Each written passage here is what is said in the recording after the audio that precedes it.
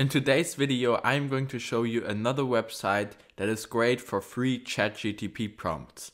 Since prompting is really important to get the right outcome from ChatGTP, this is a video you should watch all the way to the end to don't miss anything and make sure to leave a like and to subscribe before we get into this. But now let's get right into this.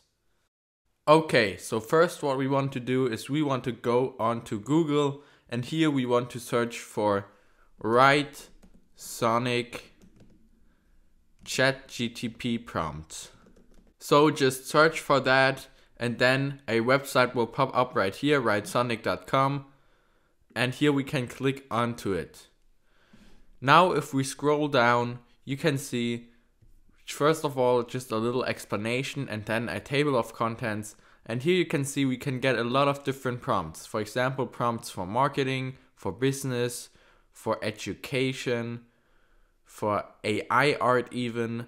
So a lot of different things. So now if we scroll down, you can also click on this, then you will be brought right to the prompts. And here there are different prompts such as, can you provide me with some ideas for blog posts about a topic?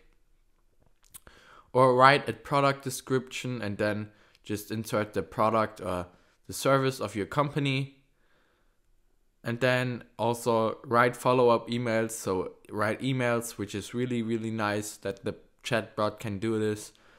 Um, and yeah follow up. Now if we for example go on to another theme let's just go on education. Create a magical system that empathizes education.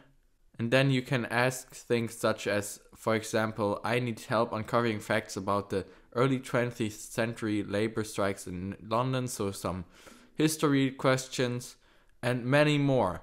So let's just go on another one right up here. Let's just go on food and cooking now. And then, can you help me with a plan a week's worth of dinner for two adults? So this is really nice. You can just plan on making different meals which is really nice since you don't have to do that yourself. And ChatGTP knows a lot of different recipes, so it can really help you out with that. Then you can also look for healthy dinner ideas as shown here, and so much more. So, yeah, there are a lot of different prompts on here, up to 500 different prompts, I think.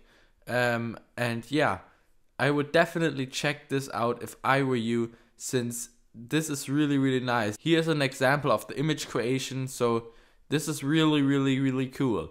So I would definitely check this out and make sure to get these free prompts and try them out. So with that said, make sure to leave a like and to subscribe. And without further ado, I will see you guys in the next one. Bye.